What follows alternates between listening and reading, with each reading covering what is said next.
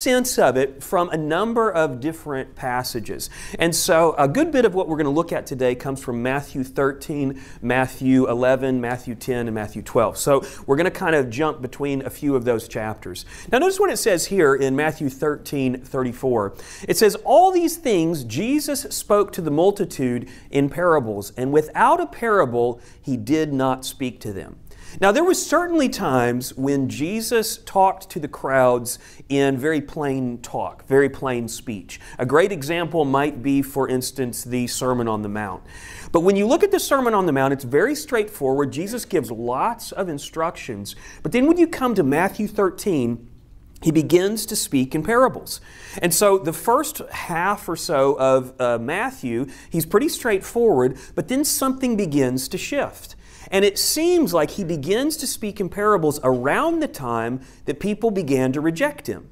And so in Matthew 10, 11, and 12, and then leading especially into 13, there's this building tension between Jesus and the Pharisees. And at that point, he begins to be more obscure in what he says. He gives these parables that are not nearly as clear as his earlier teaching. Now, certainly, there's still chapters after chapter 13 where he's talking to his disciples, for instance, or he's talking to a group of probably believers where he's a little bit more clear. But for the most part, when he's talking to crowds, as this verse says, he spoke in parables.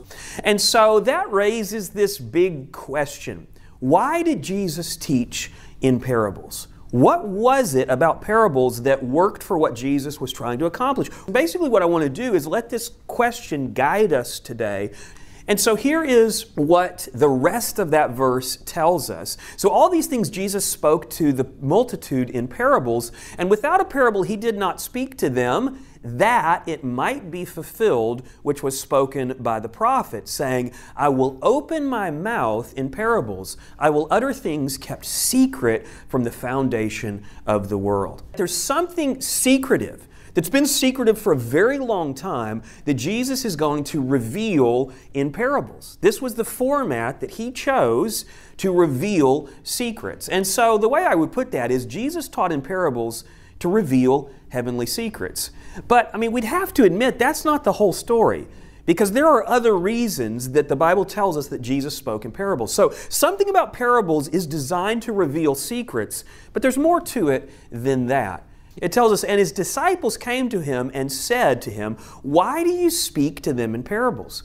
Interesting to me that the disciples are asking the same question that we're asking today. What happens is Jesus will give parables and people get confused, and then his disciples come to him and they ask this question. It happens on a few different occasions. He answered and said to them, Because it has been given to you to know the mysteries of the kingdom of heaven, but to them it has not been given.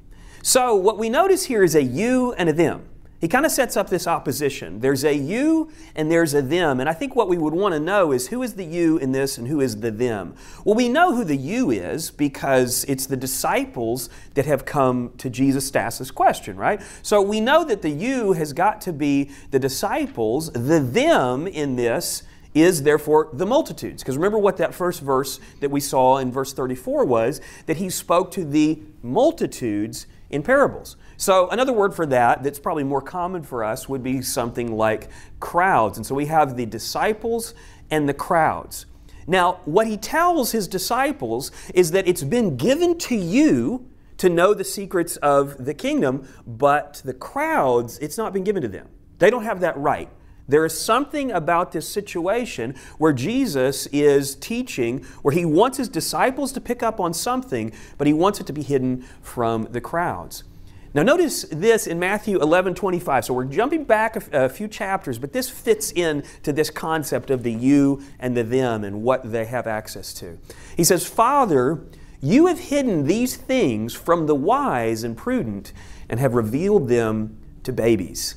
I really love that because think of what Jesus was just saying. He says, To you it's been given, to the disciples it's been given for these things to be revealed. To the crowds, It's not been given to, for it to be revealed. So basically, what he's saying, in a sense, and I think it's in an ironic sense or maybe in a rhetorical sense, the crowds are wise. We might put it that way, sort of in quotes. They're wise, but you disciples are babies. You guys are infantile. You guys are childlike. And there's something about that that Jesus is really interested in, and that is apparently part of why he chose his disciples. Here's another that uh, Paul actually said in 1 Corinthians 1:12. He says, "But God chose the foolish things of the world to confound the wise." If you're confounded, what are you? I, think a good uh, translation of that would be confused.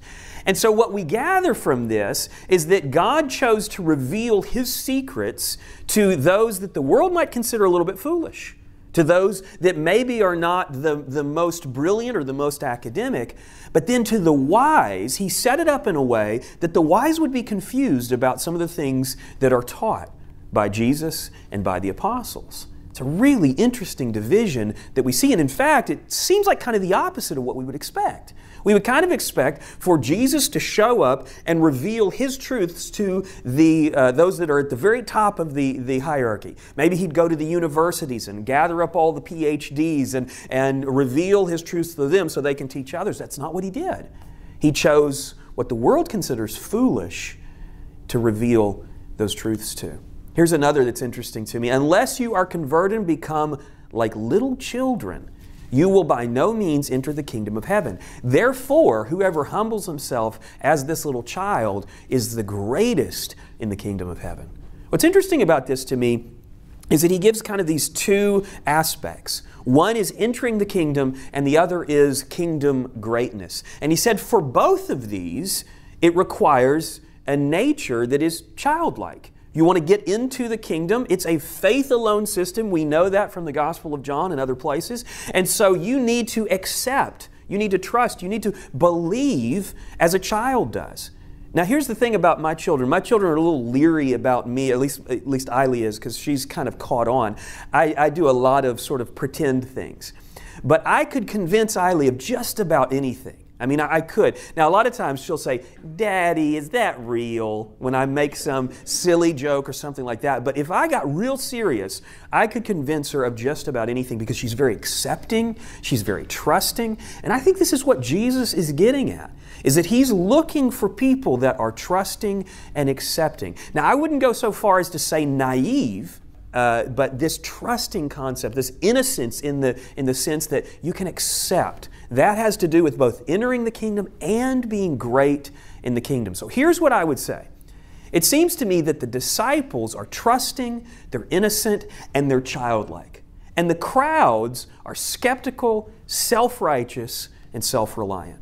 And in the crowds, what we notice is that among the crowds, among the multitudes, are the Pharisees those people who are known for their own self righteousness. In fact, in one of Jesus' parables that we looked at a number of months ago, it tells us that he spoke this parable to those who were relying on their own righteousness. So his so there are these, these groups of people that are relying on their own righteousness. They're called the Pharisees, and those were the teachers that the crowds listened to. And so they were, in a sense, the disciples of the Pharisees. And here I think, is what Jesus is saying parables do. Parables divide. Parables divide the trusting, the innocent, and the childlike from the skeptical, the self righteous, and the self reliant. I think those parables are designed to draw a stark line between those two groups, and it separates them. And that's exactly what we see with the disciples. So Jesus gives this parable to the multitude and to his disciples included, and what happens is they divide out.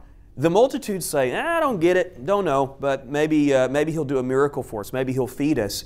But what the disciples do is they divide themselves from the crowds and they go to Jesus and they say, What is that all about? And so, those who are trusting and innocent and childlike, it pulls them away from the crowds to get closer to Jesus because they want to understand. And this is what the parables do. And so ultimately, the parables counsel the trusting, the innocent, and the childlike, but the parables confuse the skeptical, the self righteous, and the self reliant.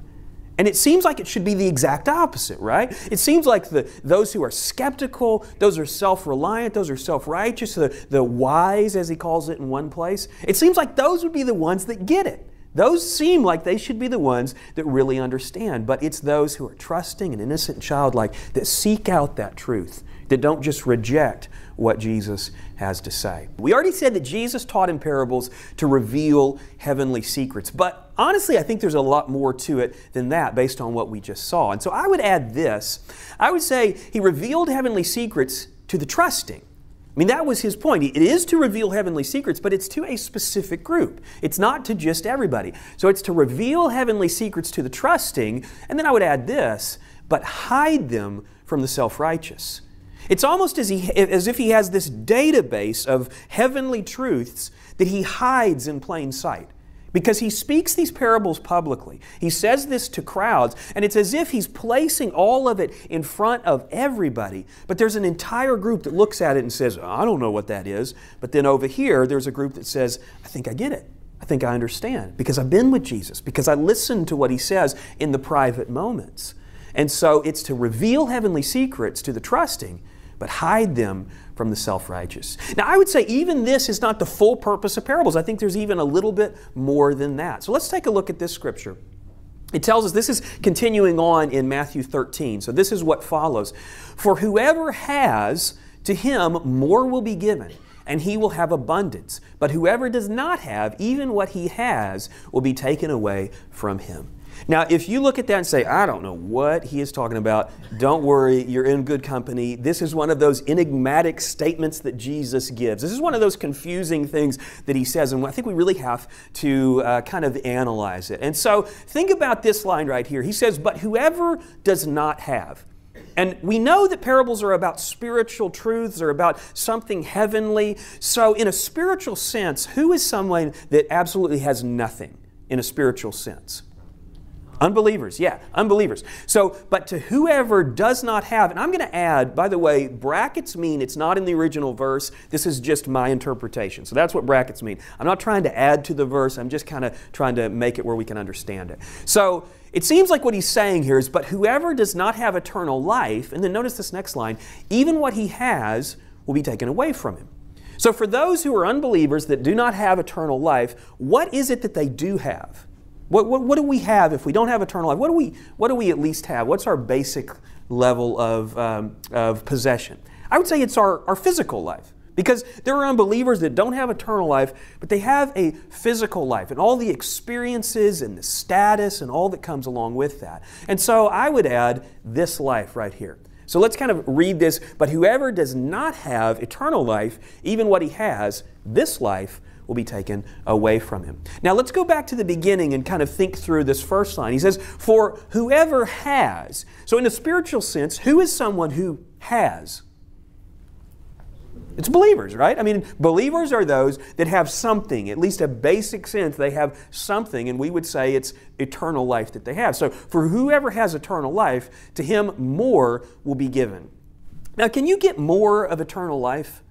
I'd say not, not really, but there are some verses that talk about having a greater experience in eternal life. In fact, this verse is one of them where it talks about abundance. You can have eternal life, but then you can have abundant eternal life or abundant physical life even here and now. So I would add, uh, I would add this to it. I would say reward now and in heaven. But we talk about reward a lot, and one of the things that we don't say a whole lot is that there is it is rewarding in this life to obey and follow Christ. And so I, I believe there's reward now, but also in heaven. And I think that's what Jesus is talking about here. So let's read this Frankenstein verse now all together, and I'll, I'll show you what I think he's saying.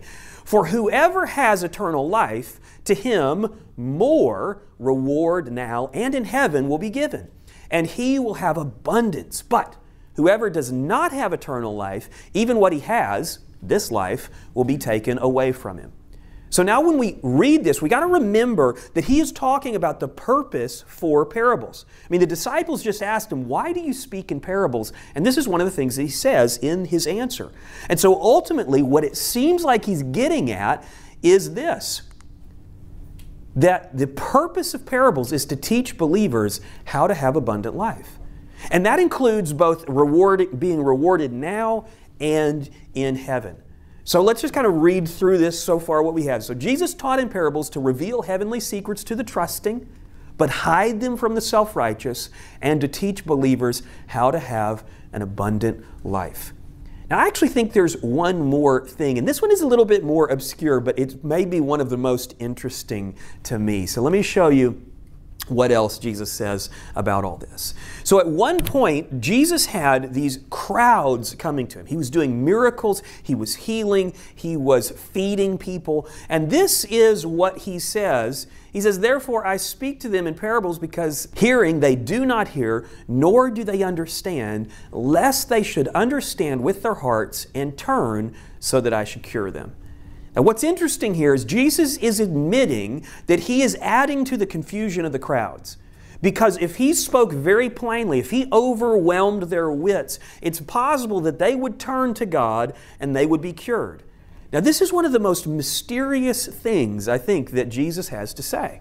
Jesus is basically saying, I know what I'm doing. I know that I'm confusing them because if I didn't confuse them, they might would turn and they would be healed, they would be cured. And he's not talking about physical healing here, I don't think. He's talking about spiritual healing. They would turn and they would change. And so we have this really kind of difficult question to answer. Why wouldn't God want the Jews to turn to Jesus and be cured? Why would he be obscure like this? Why would he, he speak in these mysterious phrases that make it difficult for people to understand and to believe? Why would he want to do that? He talks a little bit about this in a previous verse. He warned them not to make him known. Now you may say, well, who is the them here? So who's he talking to? So when he would, uh, earlier, when he would meet with a crowd and do miracles and heal and feed them, early in his ministry, he was telling them this. He was telling them, I, I don't want you to go out talking about me. I want you to keep this whole thing a secret. Notice what he says. He says he warned them. He's, ta- he's not talking to just the disciples here. He's talking to the larger audience, the crowds, the multitude. He warned them not to make him known that it might be fulfilled, which was spoken by Isaiah the prophet, saying, Behold, my servant who I have chosen, he will declare justice to the Gentiles till he sends forth justice to victory, and in his name Gentiles will trust. That is a huge mystery because how many Gentiles did Jesus preach to? Anybody know? How many Gentiles did Jesus preach to? None that we know of. Now, he did minister to one lady that we're aware of in the area of Tyre and Sidon, one Gentile lady. And then he went to the Gennesaret at some point, and he may have interacted with some Gentiles, but as far as we know, he never declared a sermon or declared justice to Gentiles, at least not directly. But what that verse says is that he will declare justice to the Gentiles till in his name Gentiles will trust. Now, in his ministry, as far as we can tell, this didn't happen. But what Jesus is saying is that I don't want you to go out and talk about me because this, this prophecy needs to be fulfilled. This prophecy that the Gentiles need to come and believe in me. So let's go back to this question because this is our driving question right now. Why wouldn't God want the Jews to turn to Jesus and be cured? And it seems that it has something to do with the Gentiles. And maybe you begin to see where we're going with this. I think Paul helps us understand this idea. Notice what he says. He says, Blindness in part has happened to Israel until the fullness of the Gentiles has come in. That is fascinating to me. And this blindness that he's talking about, he's not talking about physical blindness, of course. He's talking about a type of spiritual blindness. He's saying that spiritual blindness has happened to Israel for a while so that Gentiles could come in.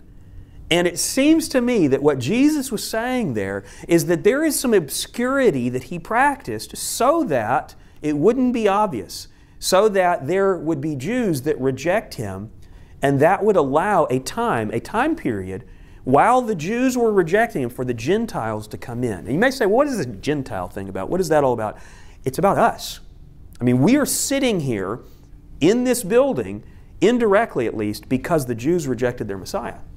Had the Jews accepted their Messiah in that moment when he came, the kingdom would have come. It was part of God's plan for the Jews to reject him and then for us to go into this age where the church would be established and grow because there is a number of Gentiles that were willing to believe in the Messiah. And then at some point, that era is going to close. And then it tells us this. And so all Israel will be saved. So after this time of the Gentiles is done, after the church age is what we sometimes call it, after that's done, then Israel is going to turn back to their Messiah. And so all Israel will be saved. As it is written, the deliverer will come out of Zion, and he will, he will turn away ungodliness from Jacob. And so the answer to our question is so we, or the question we're asking is why wouldn't God want the Jews to turn to Jesus and be cured? He does, just not yet. And I know that's a strange idea, but it's because he loves the church, he loves Gentiles as well as Jews, that he allowed for this time where Israel would reject their Messiah and allow Gentiles to come in. And so I think we have to add to our list here. Jesus taught in parables for these reasons to reveal heavenly secrets to the trusting, but hide them from the self righteous, to teach believers how to have abundant life and now we realize, and to intensify Israel's rejection for a while. Now, notice I didn't say Jesus was forcing them to reject him. Because if you look at the first chapters of Matthew, he's very straightforward. If you look at the, uh, the chapters that we find in the Gospel of John, he presents the message very clearly on many occasions. But then, after they begin to reject him, he begins to speak in parables. And so some might, might reject this and say, well, it's not fair that Jesus forced them to reject him. He didn't. What he did is he played upon their seed of rejection, knowing where it was going to go. And he intensified it, he hardened it. Some people have a similar uh, question about Pharaoh, that God hardened Pharaoh's heart. And some people say, well, that's not fair. Pharaoh should have had the opportunity to choose for himself whether he was going to obey God or not. But if you read through the story of Pharaoh and, and the uh, children of Israel, it actually tells us first that Pharaoh hardened his heart, and then later it tells us that God hardened his heart. And so God allowed him to make his decision, and then it was intensified by God. God wanted to accomplish something through that rejection. And so I don't see this as Jesus forcing the Jews to reject him, but he decided through God's plan to use the rejection that the Jews were going to experience, and he intensifies it. How? I think with parables, so that the Gentiles would have time to believe. Once they began to reject him, he spoke in parables, at least in part, to intensify, to solidify the fact that they would reject him. And that is why I believe he spoke in parables.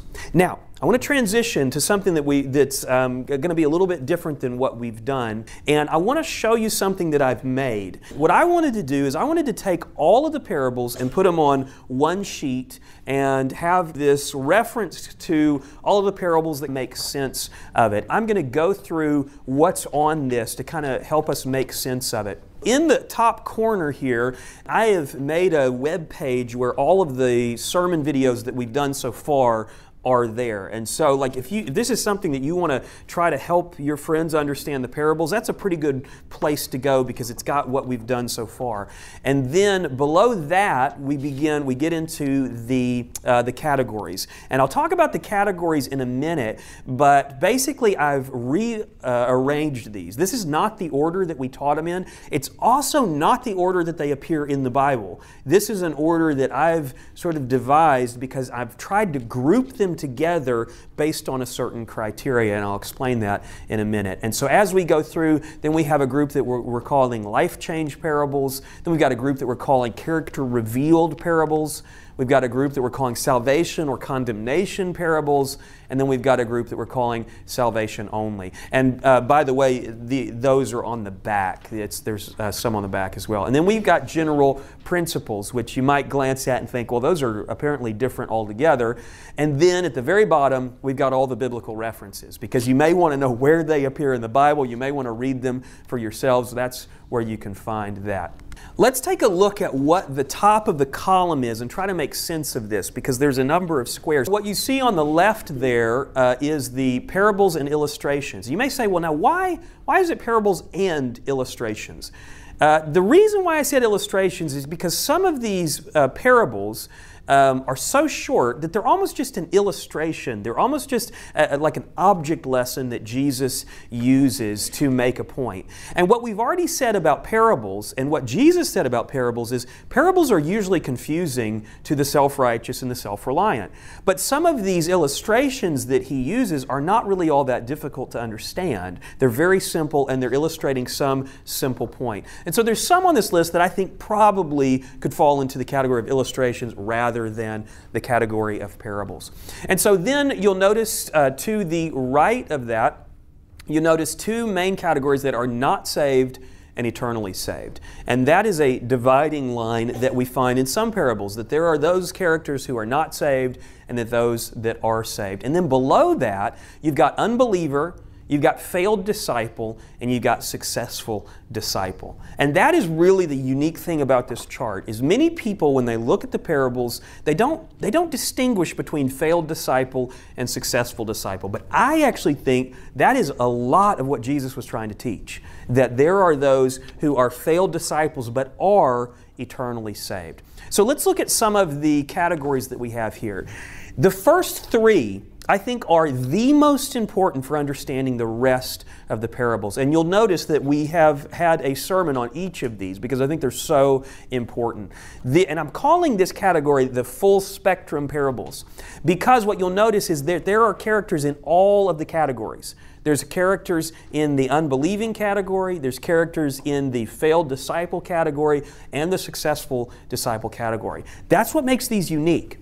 None of the other parables have characters in every single category. And so, what this does is this helps us understand the categories. It helps us understand these different characters that are going to show up in other parables. And so, if you were ever going to do a Bible study with your friends, for instance, about the parables, I would suggest starting with these three.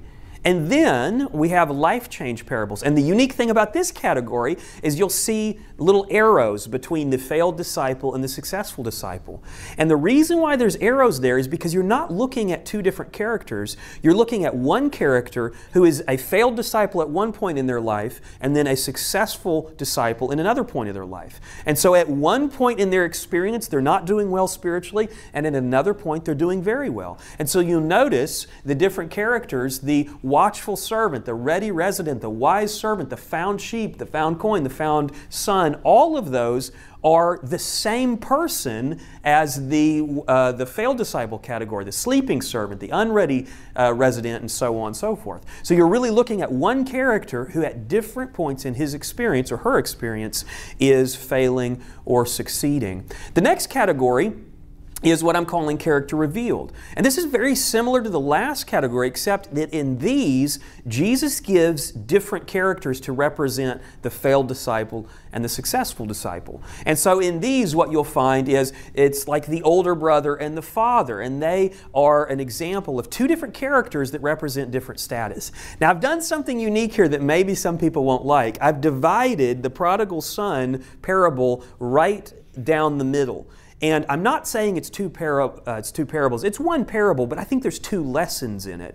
And so I think what Jesus is illustrating in the prodigal son is both that the lost son can become the found son, but I think he's also illustrating that the father is a good example of spiritual leadership and the older brother is not. And so I think there's two lessons in there, and that's why it's on uh, two different uh, uh, lines. And then we've got salvation or condemnation. In this, it's unique because there doesn't seem to be a difference. Yeah, this is on the back side. There doesn't seem to be a difference between the failed disciple and successful disciple. He is, seems to be just teaching the difference between those who are, are not saved and those who are saved. And then salvation only uh, parables. These are another that are a little bit different, difficult to categorize because in these, Jesus talks about the mustard seed, the leaven, the treasure, the pearl, uh, and then debtors and seed. Now, what I'm not saying, I'm not saying that the mustard seed represents one believer. The mustard seed represents the kingdom.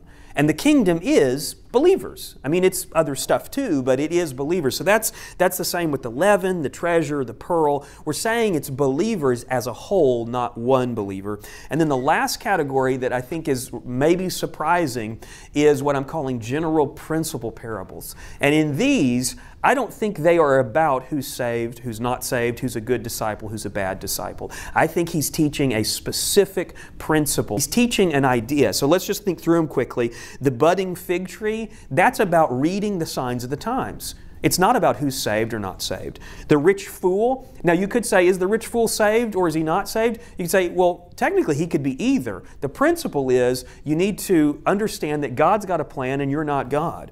Uh, the Good Samaritan, people would say, well, I think the Good Samaritan was saved. And I would say, yeah, he might be.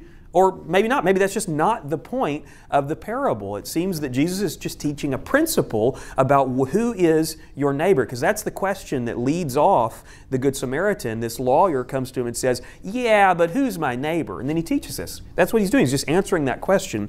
And then the new wineskins, once again, that's about the old system is not going to quite fit with the new system. And so these, I don't think, are about who's saved or who's not saved. And you can see why that would really matter. Because if you thought that the Good Samaritan, for instance, was telling you how to get saved, then we would all probably be in trouble. Because none of us really live up to, I'm guessing, that Good Samaritan.